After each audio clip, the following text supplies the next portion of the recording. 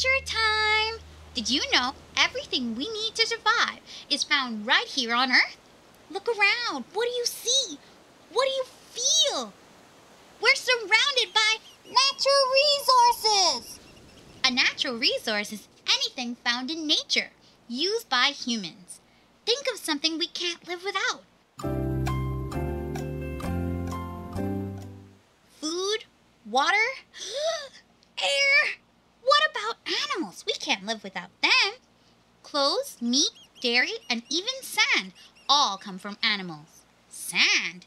Want to hear something weirdly amazing? Parrotfish clean the reefs, then poop sand. we use natural resources for everything. Ready for a closer look? Let's dive under the sea! The ocean is full of life and provides hydropower, jobs, and lots of seafood. On land, we grow trees, crops, and find fresh water.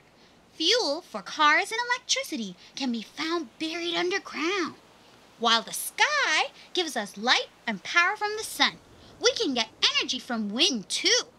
Life as we know it wouldn't be possible without natural resources. Tell everyone, protect our natural resources. I had a blast learning with you today. Happy exploring!